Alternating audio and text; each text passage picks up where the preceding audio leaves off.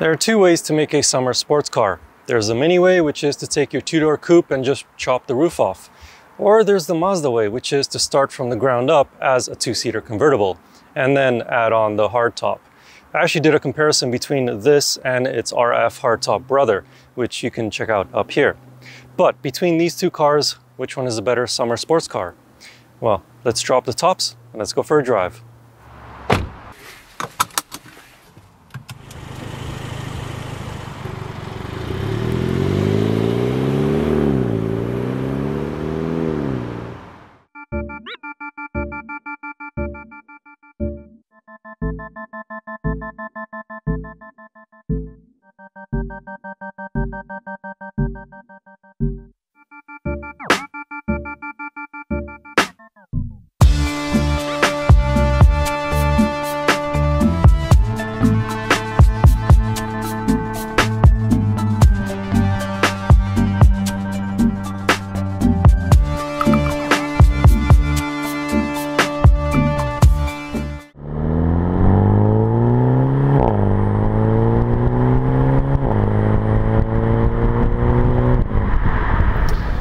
So between these two cars, this one is more powerful. This is actually the JCW version.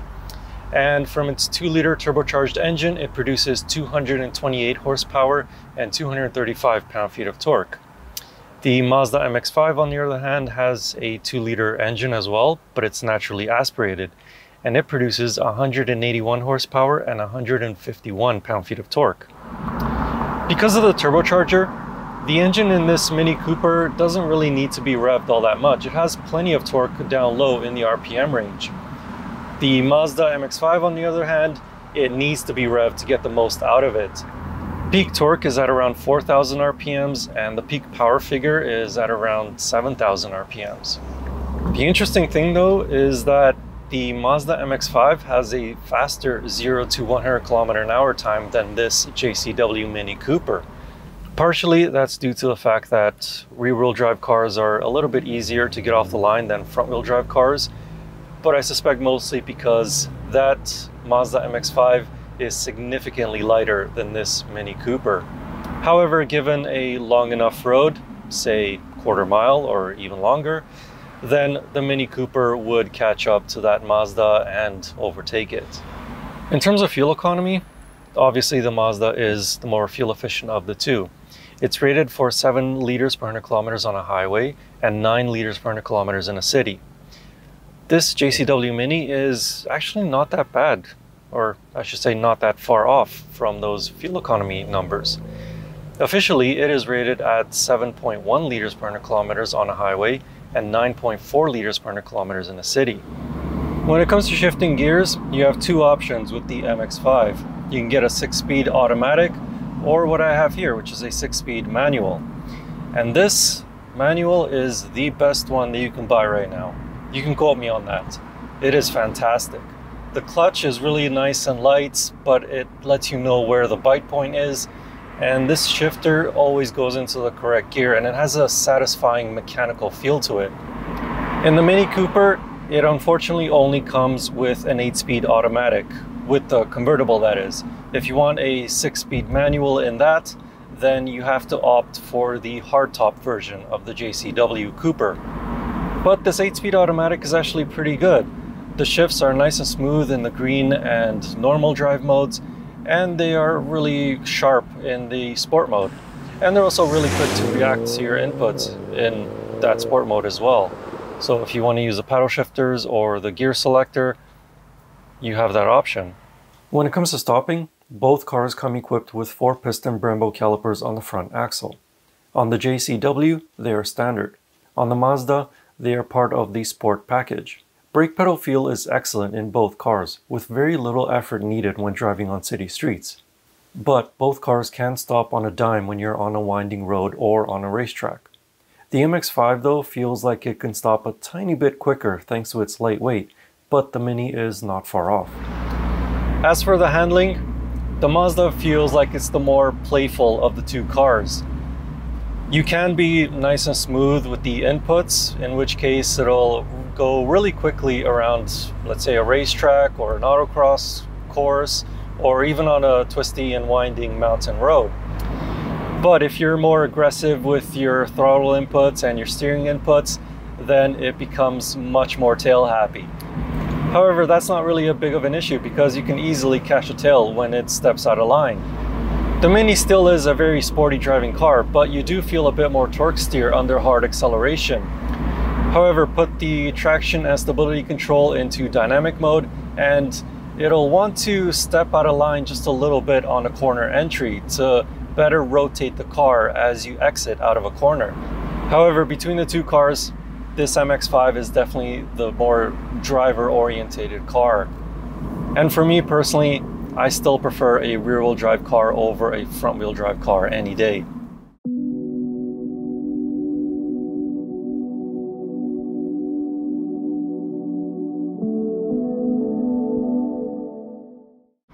The standard Mazda MX-5 is actually a pretty comfortable little sports car, but this one is the GSP, or Club in the United States, and it comes with Bilstein shocks.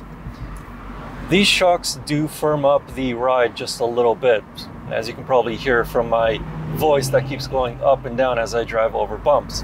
But it's not completely unbearable on city streets. However, you probably will want to avoid some of the bigger potholes and manhole covers just to give yourself a more comfortable ride. As for the ride in the Mini Cooper, it's actually not that bad. Just like in the Mazda though, you might want to avoid some of the bigger potholes and manhole covers, but for daily commutes, it's not bad.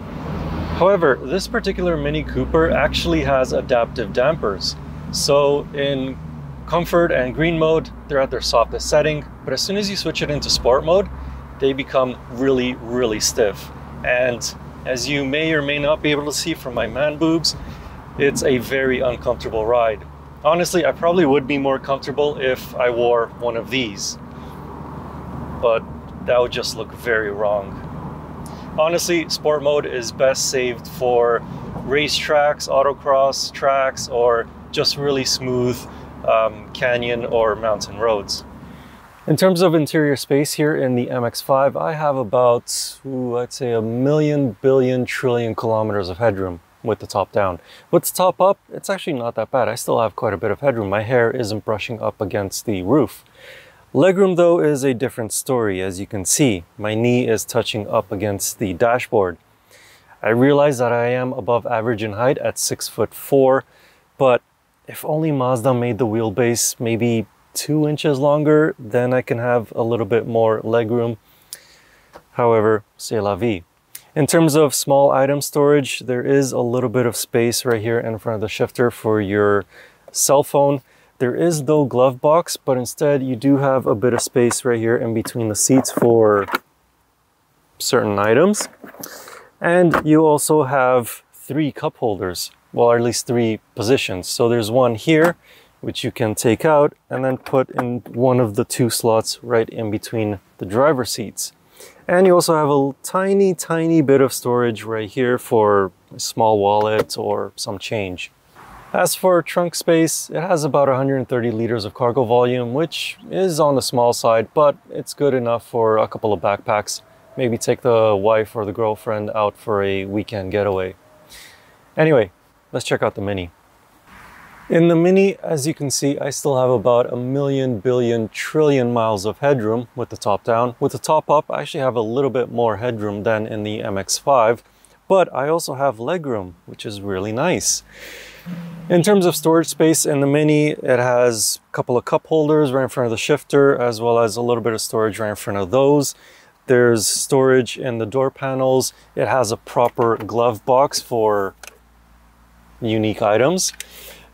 And I would even argue that the back seats are storage because honestly, there's literally no legroom at all. Oh, and also there's not really any storage in here because this is actually where the wireless phone charging is.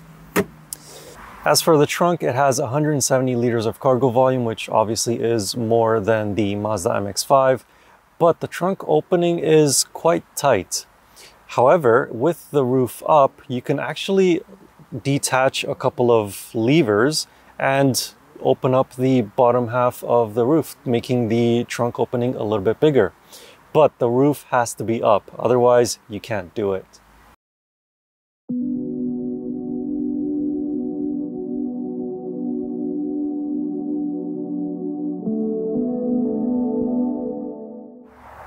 When it comes to pricing, that Mazda MX-5 GSP, or Club as it's known in the United States, starts at $37,200 Canadian.